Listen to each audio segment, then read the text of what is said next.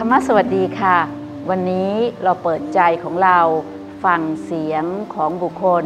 ที่เราได้ยกย่องใน International Tara Award ความดีที่มีความศักดิ์สิทธิ์ เพราะจิตของคนดีที่มีศรัทธาและมีปัญญาร่วมกันทำให้สังคมของเรารอดและปลอดภัยอย่างมีธรรมค่ะ รู้สึกซาบซึ้งมาก ๆ ค่ะ ที่ฉันรู้สึกเดินเด่น ซาบซึ้งค่ะก็จริง ๆ อธิบายไม่ได้ค่ะ เพราะว่าเป็นสิ่งที่พิเศษจริง ๆ ค่ะที่เรารับเกียรติอยังสูงขนาดนี้ค่ะ นอกจากได้เกียรติแล้วแล้วก็เราประทับใจมากที่ว่าเอ่อยังมีคนในประเทศเราเนี่ยยังสนใจที่จะช่วยคนที่เขายากไร้นะก็เราเราสองคนนี้ก็ทำงานแบบที่มานานแล้ว แต่ก็ดีใจมากที่จะมาร่วมกับมูลนิธินี้ด้วยนะครับ ประทับใจที่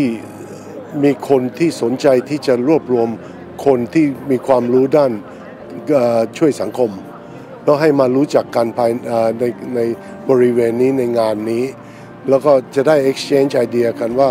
จะทำอะไรมากกว่านี้ได้กัน ก็คือความดีจริง ๆแล้ว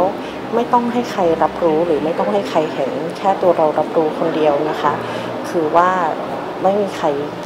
รู้ได้หรอกค่ะว่าใจข้างในเป็นยังไงหรือว่าสำคัญที่สุดคือต้องมาจากข้างในอะคะว่าถ้าเกิดใจเราคิดดีส่วนอื่นๆอย่างเช่นการกระทำแล้วก็ทุกๆอย่างก็น่าจะตามมาค่ะมีความสุขเล็กๆในใจฉันอื